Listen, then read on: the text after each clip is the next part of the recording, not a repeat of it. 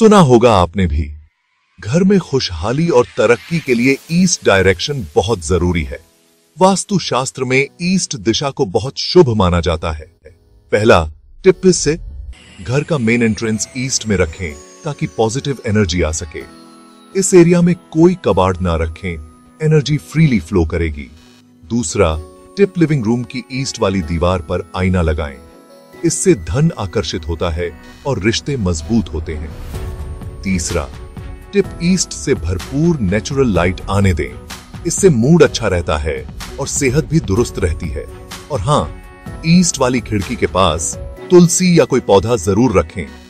ये हवा को शुद्ध करते हैं और अच्छी वाइब्स लाते हैं। इन आसान वास्तु टिप्स को फॉलो करके घर में शांति, खुशहाली और तरक्की लाएँ। ट्राई करके देखिए, फ़र्क महसूस होगा।